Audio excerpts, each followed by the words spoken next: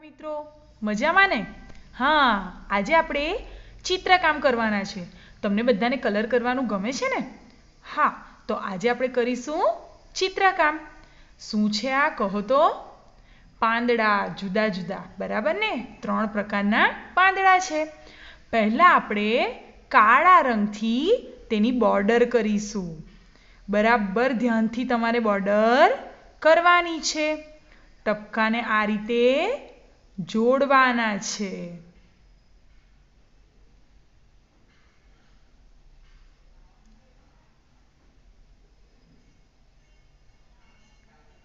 જુઓ, થઈ ગયું એક પાંદડું? હવે આ બીજું પાંદડું કરીશું. આ રીતે ધીરે ધીરે ટપકાને જોડતા જવાનું છે અને બોર્ડર કરતા જવાનું છે.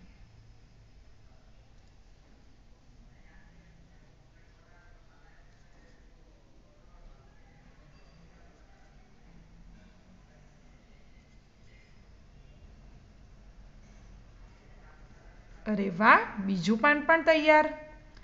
હવે ત્રીજું પાન.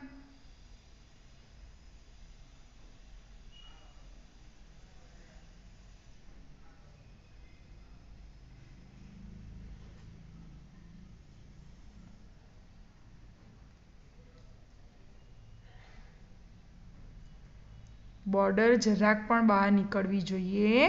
નહીં ટપકા પર જ ધ્યાનથી કરવાનું છે. થઈ ગઈ આપણી બોર્ડર હવે આપણે આ પાંદડામાં કલર કરવાનો છે. તો પોપટી અથવા લીલો. કોઈ પણ કલર તમે કરી શકો, જે તમને ગમતો હોય તે. મને આ પોપટી કલર ગમે છે. તો હું પાંદડામાં કરીશ પોપટી કલર આ રીતે ધીરે ધીરે કલર કરવાનો છે. નીચે સફેદ કાગળ પણ દેખાવું ના જોઈએ અને બહાર પણ નીકળવું જોઈએ. નહીં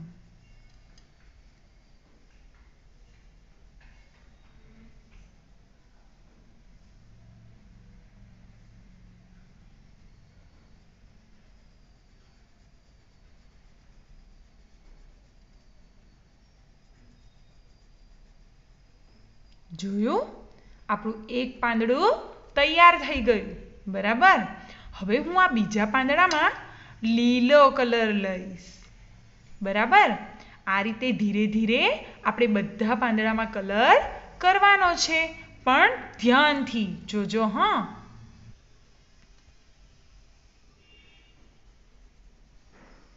જોયું બાળ મિત્રો આ રીતે સરસ મજાનો આપણે ત્રણે ત્રણ પાંદડામાં કલર કરવાનો છે. બરાબર? નીચે સફેદ કાગળ દેખાવું જોઈએ નહીં. અને બહાર પણ નીકળવો જોઈએ નહીં.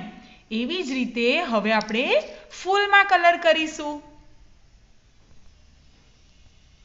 ફૂલને પણ આ ટપકા છે, બરાબર? તો આ ટપકા પહેલાં આપણે કાળા કલરથી જોડી દઈશું.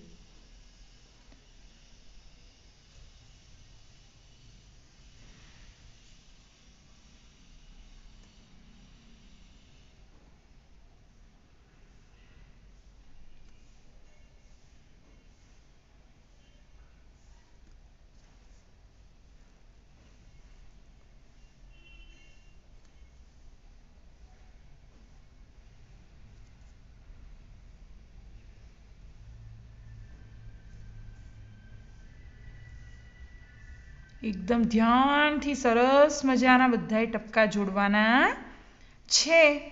બિલકુલ બહાર જવું જોઈએ. નહીં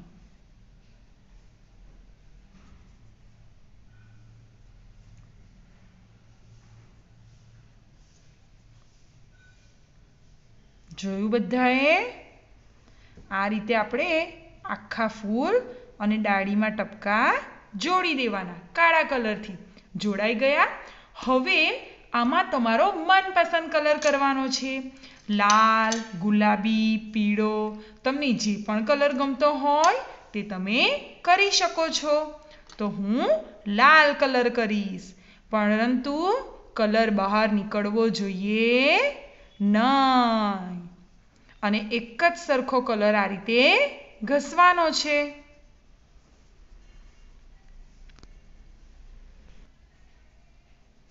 જોયું? આ રીતે ધીરે ધીરે આખા ફૂલમાં આપણે એક જ કલર કરવાનો છે.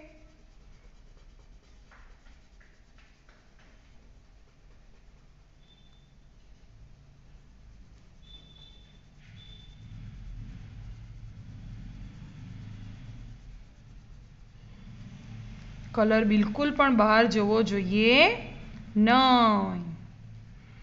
હવે ફૂલમાં વચ્ચે ટપકું છે. બરાબર? તો એમાં કયો કલર કરીશું? પીળો.